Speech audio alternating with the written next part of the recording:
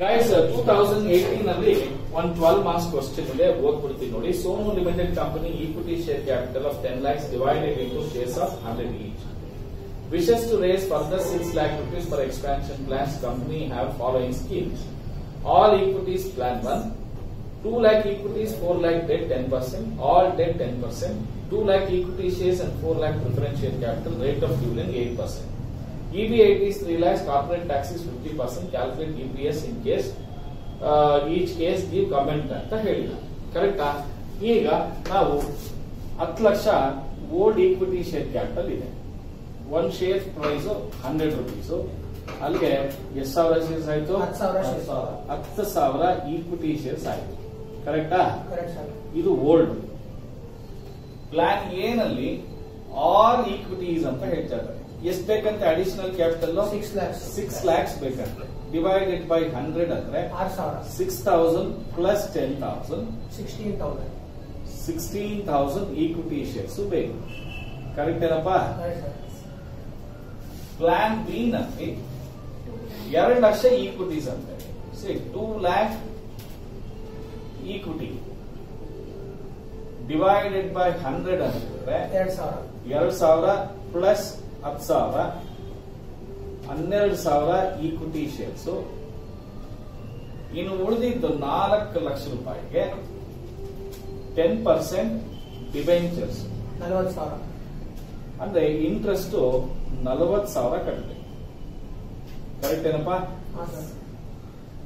ಮೂರನೇ ಕೇಸಲ್ಲಿ all debt six lakh rupees ಮೇಲೆ ಟೆನ್ ಪರ್ಸೆಂಟ್ ಕರೆಕ್ಟಾ? ಕರೆಕ್ಟ್ ಸರ್ ಅರವತ್ತು ಸಾವಿರ. ಅರವತ್ ಸಾವಿರ ಇಂಟ್ರೆಸ್ಟ್ ಕಟ್ಟಬೇಕು ಈಕ್ವಿಟಿ ಶೇರ್ಸ್ ಎಷ್ಟಿದೆ?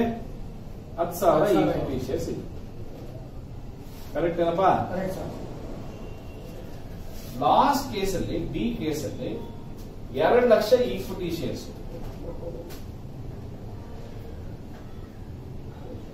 ಎರಡು ಲಕ್ಷ ಅಂದ್ರೆ ಡಿವೈಡೆಡ್ ಬೈ ನೂರ್ ಮಾಡಿದ್ರೆ ಎರಡು ಸಾವಿರ ಈಕ್ವಿಟಿ ಶೇರ್ಸ್ ಹಳೇದೊಂದು ಹತ್ತು ಸಾವಿರ.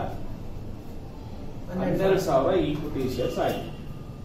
ಕರೆಕ್ಟಾ ಇದು ನಾಲ್ಕು ಲಕ್ಷಕ್ಕೆ preference share capital eight percent. ನಾಲ್ಕು ಲಕ್ಷಕ್ಕೆ eight percent.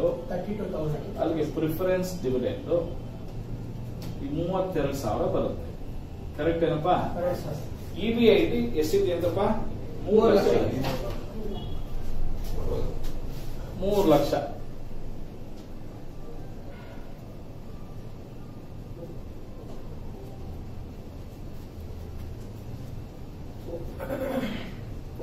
ಇಂಟ್ರೆಸ್ಟ್ ಫಸ್ಟ್ ಕೇಸಲ್ಲಿ ಇಲ್ಲ.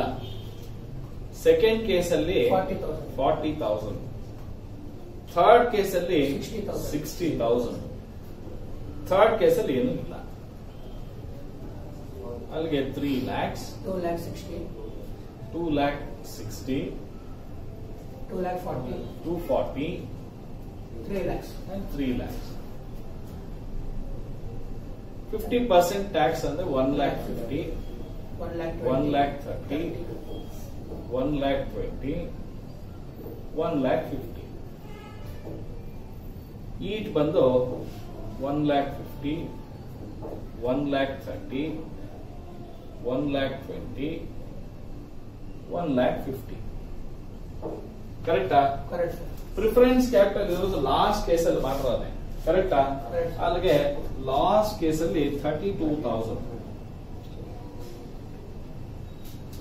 ಇದು one lakh fifty one thirty one twenty one one eight ಈಗ one lakh fifty divided by 16,000 shares. 9.37. 1 lakh 30 divided by 12,000. 10.83. 10.83. 120 divided by 10,000. 12. 118 divided by 12,000.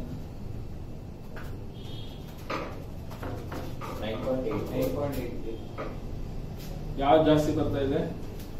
Plan C plan C ನಾವು ಇಲ್ಲೇ ಹೇಳ್ಬಿಡ್ಬೋದು. ಎಲ್ಲಿ tax benefit ಜಾಸ್ತಿ ಬರ್ತಾ ಇದೆ? ಈ ಎರಡರಲ್ಲೂ ಇಂಟ್ರೆಸ್ಟ್ ಇದೆ. ಇಂಟ್ರೆಸ್ಟ್ ಯಾವ್ದ್ರಲ್ಲಿ ಜಾಸ್ತಿ ಇದೆ? ಸಿ ಎಲ್ ಸಿ ಖಂಡಿತ ಇದರಲ್ಲೇ ಟ್ಯಾಕ್ಸ್ ಬೆನಿಫಿಟ್ ಜಾಸ್ತಿ ಇದೆ. ಇದಕ್ಕೂ ಇದಕ್ಕೂ ನೋಡಿ ಟ್ಯಾಕ್ಸ್ ಎಷ್ಟು ಹೋಗ್ತಾ ಇದೆ? ಒಂದು ಇಲ್ಲೆಷ್ಟು ಹೋಗ್ತಾ ಇದೆ? ಇನ್ನು ಜಾಸ್ತಿ ಬರ್ತಾ ಇದೆ ಅಂತಾನೆ ಪ್ರಾಫಿಟ್ ಅದಕ್ಕೋಸ್ಕರ ಅದನ್ನೇ ಸೆಲೆಕ್ಟ್ ಇದು ಆಕ್ಚುಲ್ ಆಗಿ ನಾವು ಬಿ ಕಾಮ್ ಸ್ಟೂಡೆಂಟ್ಸ್ಗೆ ಇಷ್ಟೆಲ್ಲ ಹೇಳೋ ಅವಶ್ಯಕತೆನೇ ಇಲ್ಲ. ಯಾವ್ದಿದೆ ಬರ್ತಾ ಯಾವ್ದು ಜಾಸ್ತಿ ಇದೆಯಾ? ಹಾಕೊಂಡ್ರ ಯಾಕೆ ಬರ್ತಾ ಇದೆ? ಅಂದ್ರೆ ಟ್ಯಾಕ್ಸ್ ಬೆನಿಫಿಟ್ ಅಷ್ಟೇ, ಏನೇನಿಲ್ಲ. ಕೆಲವು ಟೀಚರ್ಸ್ ಅಂತ ಅದ್ರ ಬಗ್ಗೆ ಹೇಳೋದು ಇಲ್ಲ. ಏ ಫಾರ್ಮೆಟ್ ನೋಡ್ರಿ ಇದು? ಅಲ್ಲಿ ಹಾಕ್ರಿ. ಯಾವ್ದು ಜಾಸ್ತಿ ಬರುತ್ತೆ ಅದು ಹಾಕ್ರಿ.